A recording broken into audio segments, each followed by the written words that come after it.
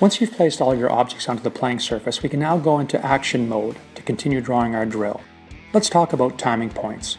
When we scale up player number one for the first time, you'll see the timing line light up down below and the first timing dot on every player's line always starts at 0 seconds.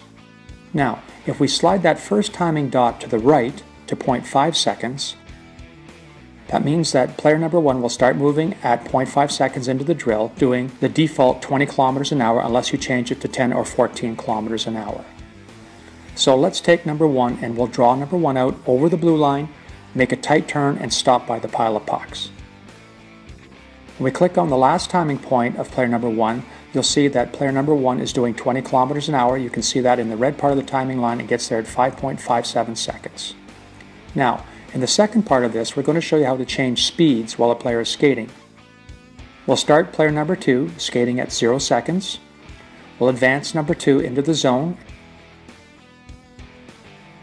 We'll now add one timing point.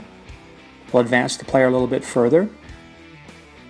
We'll add a second timing point. And then we'll pull player two out over the blue line, make a tight turn, and stop at the blue line. Now, when we check that last timing dot, you're going to see the player 2 gets there a little bit earlier at 5.21 seconds because player 2 left a little bit earlier than player 1. Now we can adjust the speed and the timing of player 2 by sliding that last timing point left or right. If we slide it to the right, we can slow that player down to 18 kilometers an hour, arriving there at 5.57 seconds as well. Now with the two other timing dots on the line, we can adjust the speed of the player during the skating. When we grab that timing point and we move it to the right, you can see in the red that the speed is dropping to 10 kilometers an hour. When we grab the next timing point, for the second part of that, you can see that the speed is dropping in the second section to 17 kilometers an hour. And then to the right of that, you can see that the player will eventually finish at 26 kilometers an hour.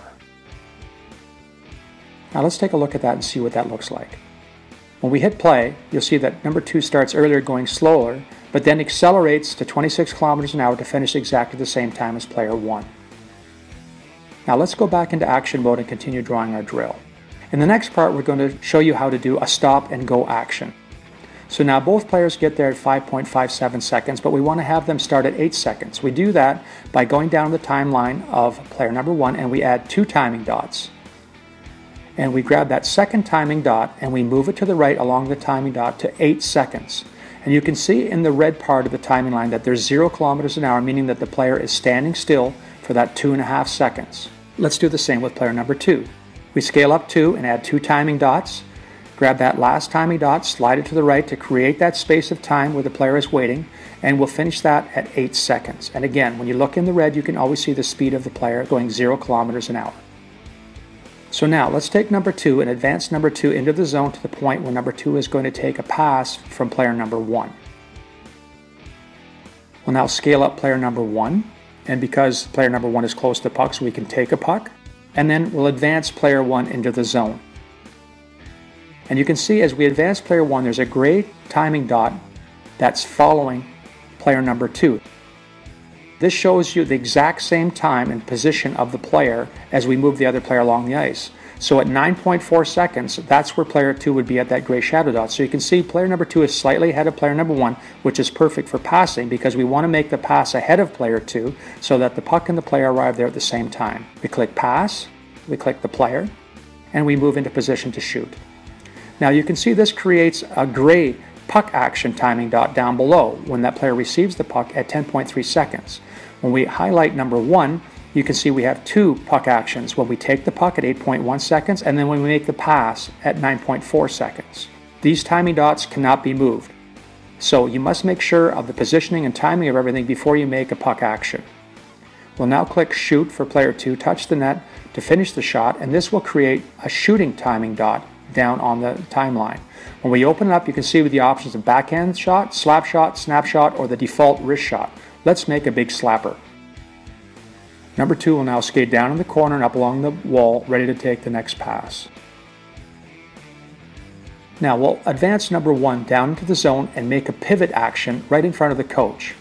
We go across and we touch the backwards icon.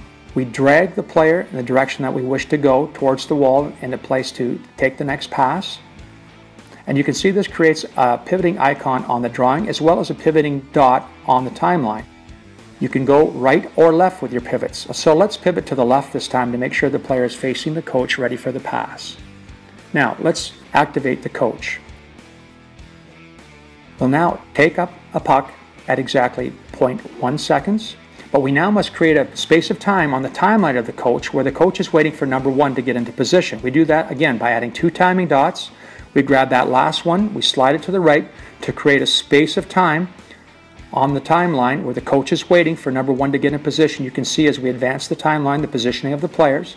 And again, we want to make that pass about two meters before number one gets into position so that the puck and player get there at the same time. We can now click pass and touch number one to complete the passing action.